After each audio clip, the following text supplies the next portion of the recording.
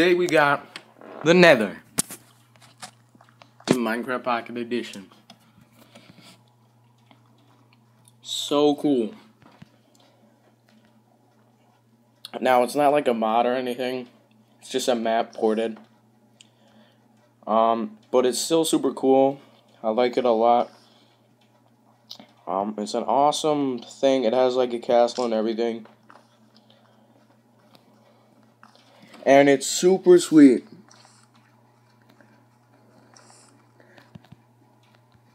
Um, yeah.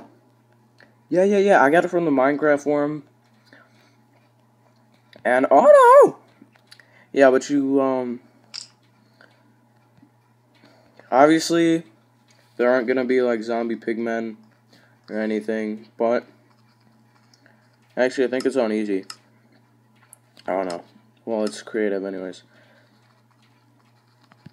But it's cool and they're not I mean, obviously there aren't there's no nether, so they're not gonna like the um, netherrack or the nether warts things. I don't even know how you call them. At the moment, I'm just having a total brain skip.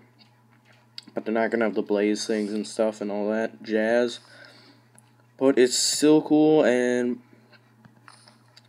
you guys could check this out and, I don't know, try to survive or something. I mean, I guess. And it does have the glowstone. In case you didn't know. And, I mean, it has the normal skies, but that's just at the edge of the map here. Because, like, the whole thing's covered. Oh, yeah, I should see if it has the sand. I'm having a brain skip. Total brain skip. Um, what what's it called? What's it called? Oh, this is gonna bug me now. I don't know. Soul sand? Yeah, that might be it. Or no, but like the dirt. I I don't know. This is sad.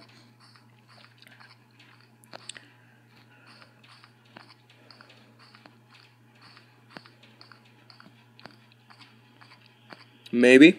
Maybe it's up here. Just maybe. No? Hey, Maybe it'll fall out of the world.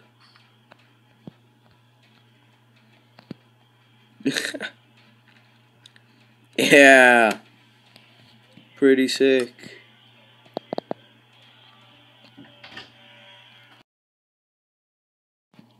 Okay, sorry about that, guys. I was rudely interrupted. But, anyways, I guess. Thanks for watching, bros.